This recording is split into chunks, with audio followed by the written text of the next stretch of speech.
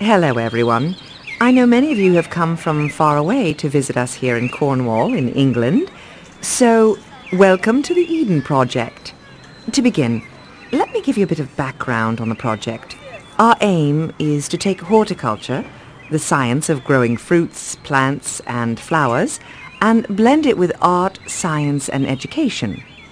We also work to find a balance between growing plants for our needs and conserving land worldwide.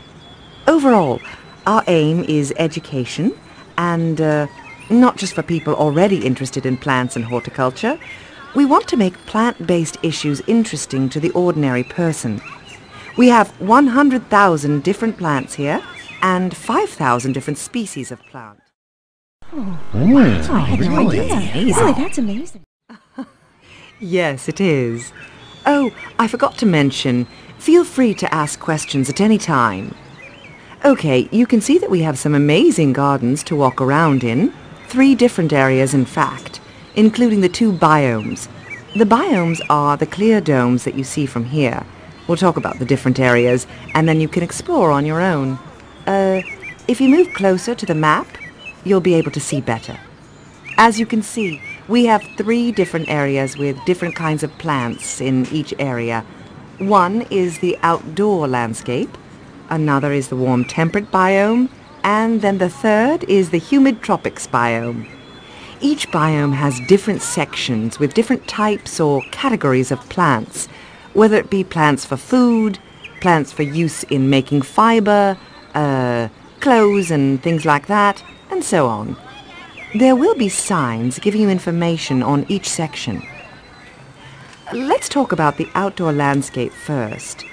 This has the natural landscapes and plants of temperate regions.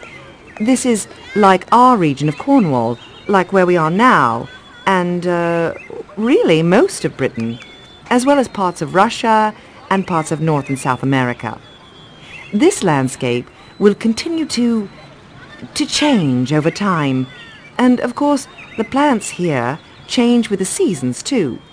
Oh, it's quite a long walk down to the end of this section, but there is a train that runs from here at the visitor center. Any questions?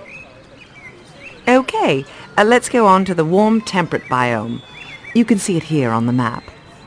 Think of the regions of the Mediterranean for this one, as well as parts of uh, South Africa, Australia and some of California in the United States. Plants in these regions have to live in difficult conditions, very dry, and usually the soil isn't very good. So would these plants include things like olive trees and citrus fruits? Yes, exactly. Okay, uh, let's talk about the second biome. This is the humid tropics biome. Think of tropical regions such as West Africa, Malaysia, and tropical South America. It's actually the largest biome in the world and has over 1,000 plant species in it. And of course the temperatures are pretty warm in there, so bear that in mind. Can I ask how or where you got all these different plants? Yes, that's a good question. First of all, they weren't taken from the wild, and most of them are not rare.